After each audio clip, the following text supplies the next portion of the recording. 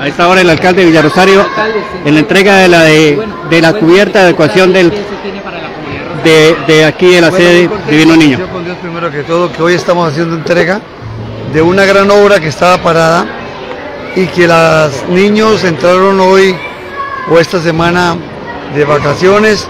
Estamos entregando una cancha deportiva con cubierta, con galería, con gimnasio saludable y también la parte eléctrica y la pintada de la escuela de Navarro Bol, una obra muy importante que asciende a los mil millones de pesos y el cual me siento muy feliz porque es una obra de mostrar, la gente lo estaba pidiendo hacía 30 años, este era un compromiso que yo tenía de mi gobierno anterior, no se podía haber hecho porque no tenía las escrituras, este año las legalizamos y por supuesto fue que por eso le pudimos hacer esta obra y que hoy estamos haciendo entrega a esta comunidad para que la disfrute.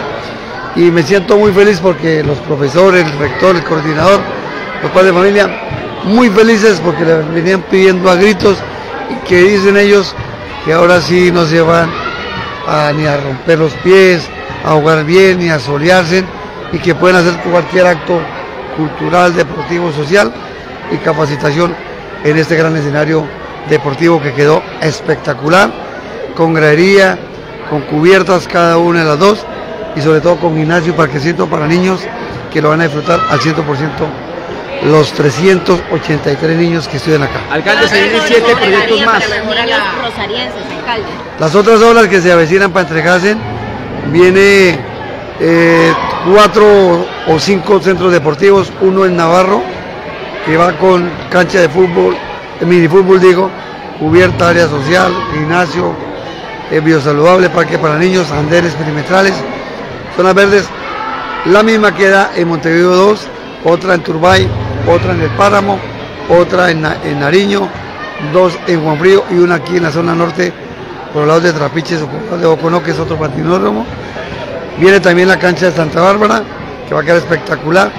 Viene una cancha de voleibol playa, viene otro patinódromo para, para, para la parada y viene una pista de BMX también en el sector de la parada que la gente también lo requiere a gritos. Viene un pilo cultural también para Juan Frío, viene un centro integral comunitario o un centro de conveniencia que lo llaman hoy en día, que también se va a hacer allá en el sector de la parada. O sea que más de nueve centros deportivos donde pasan administraciones pasadas y no hacen un polideportivo. Con Carlos Ocha que anda con Dios, las obras se ven, se entregan y por supuesto que la gente está muy feliz porque dicen que sí volvieron los buenos tiempos en la parte deportiva. Alcalde, hablemos de los rubros que dice usted que hay para la malla vial del Navarro Gol Montevideo. Bueno, para Maya Vial también se viene para este sector. Estamos ahorita invirtiendo 7.100 millones en recuperación de la malla vial y pavimentación, más 1.200 para la zona de, de Villantigua en Adoquín, más 1.800 en la zona de Galán y Gran Colombia.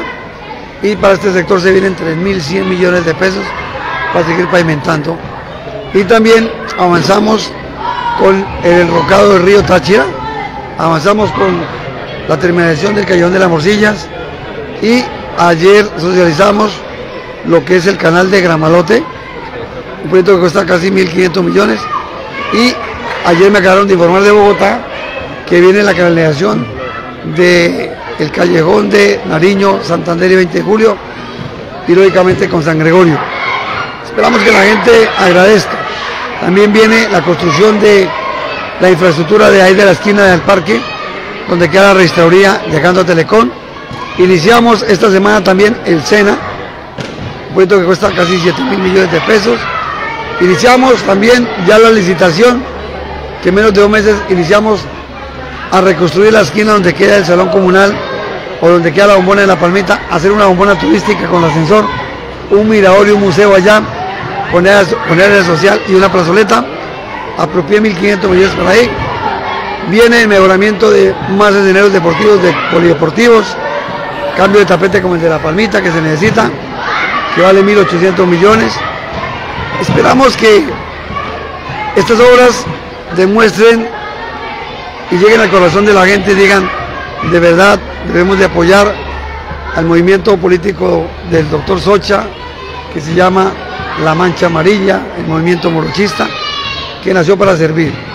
Y también nos preparamos también para arreglar el colegio San Pedro Apóstol de, de, de ahí de La Palmita, que ya está arreglado, lo vamos a entregar ahorita el lunes a las 6 de la mañana, escuchan, a las 6 de la mañana el lunes ahí en San Pedro Apóstol. Y también arreglar otra infraestructura como la de Turbay.